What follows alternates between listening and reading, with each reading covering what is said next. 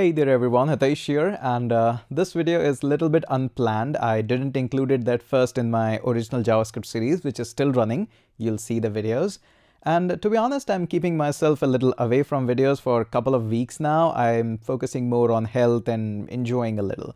Anyways, something interesting came up in the discussion which I, which I was having with one of the client and I did something which was not very usual. So the entire team of the client whom I was working with uh, got just, whoa, whoa, just wait a minute, what, what you just wrote there in the JavaScript and that's what get my interest that I should talk a little bit more on this double shots, double bangs, and a whole lot of other fancy name for this term. Now understanding this is a little bit complex if you just see the documentation, but let me show you what actually it means. And another side note, yes, I know many, I'm moving this entire series for similar discussion like this videos onto my website. It's still free, it will be free, but keeping this playlist organized is really a nightmare for me. So in the future also these similar discussion and similar uh, advanced videos will not advanced but similar uh, videos will come up on my website. It will be free. So i highly recommend to join up there. It's free. And similar videos will be upload, uploaded there and i won't be disturbing the series on the go just like this one.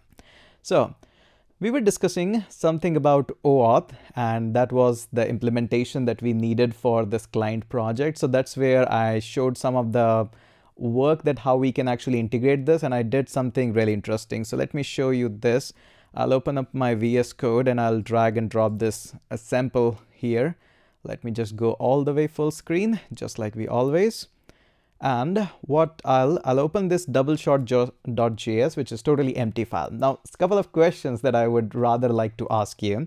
So let's just say if I define a constant here or variable, doesn't really matter. Don't go into the debate of const, var, let. It just is a variable or constant for us.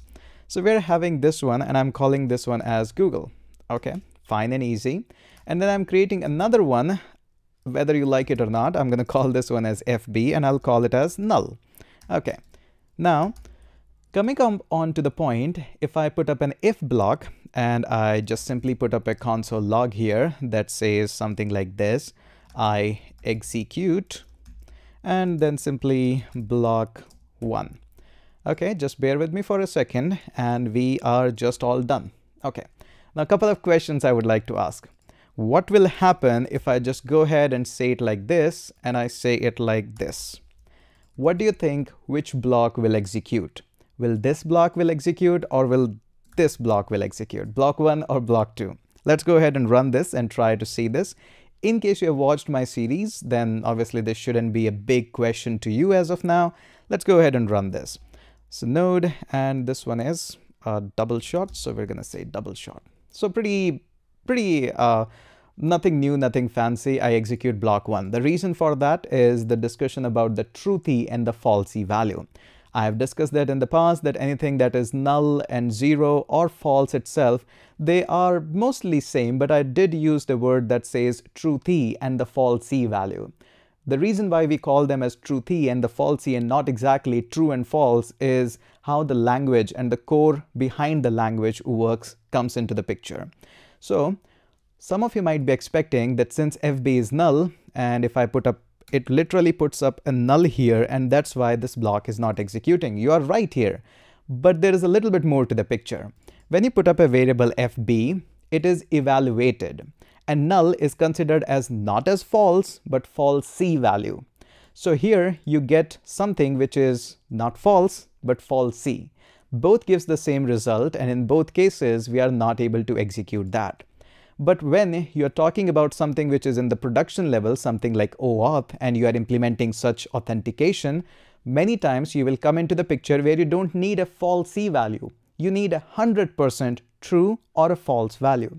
So how can I convert these falsy values into an actual false or truthy values into an actual true?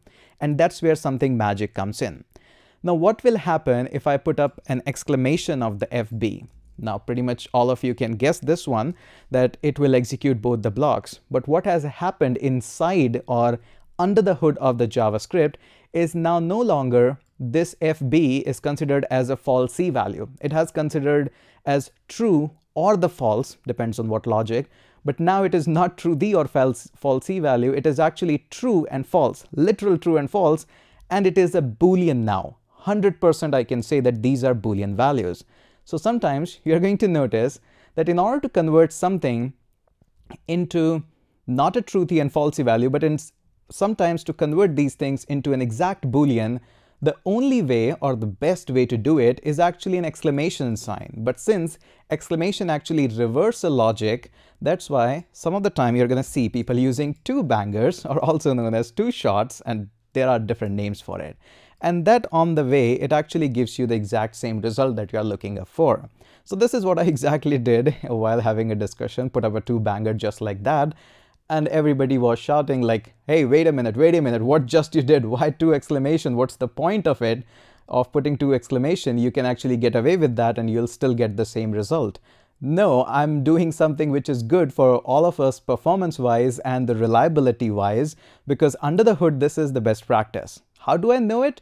Yes, that's a good point and that's a good discussion. So if we'll go on to the Airbnb documentation, as you know, I'm a big fan of reading the documentation. So if you look up this, here is something they are saying very, very interestingly and very cleanly. So they define a variable const age, which is zero. Again, not a false, but falsy value. So when you want to convert something into a boolean similar to zero or null, then there are a couple of ways that they mention, which are bad, good, and the best as well. So I was trying to implement this best one here. So you can definitely use a new boolean. Remember we talked about the new object kind of a thing in my series, in case you know that. So definitely this is one way we can do it, but as I mentioned in the series as well, I usually avoid that. You can also use something like this, a direct boolean in which you are not creating a new object, still casting it as a boolean. But the best way is to use the two exclamation signs or the two uh, shots, however you say that. So this age is a zero, so it's a falsy value. So with the first exclamation sign, you actually convert it into true, but 100% we are sure it's a boolean value. And putting up an another exclamation sign, you just make it as it is, so converting it back into false, but this is actually the best way. And actually, to be honest, I have tested it out in a couple of production grade application that it actually gives in the logger run good performance and everything. So again, uh, but yes, I would say that there are debates around it that which one you should opt in for, but yeah, some of the people who have been writing code for a while actually use these kinds of shortcuts. And sometimes we don't really like to explain it that much, but that's why I've created this video for the team who I've been working with for a while as a consultation for that project, as well as to a lot of you to understand that what this is double shot is all about. So again, I highly recommend to go ahead and uh, subscribe to this course or join this course because I'll be keep on adding more courses and more stuff just like this one on my website. And uh, hit subscribe if you haven't already and uh, enjoy.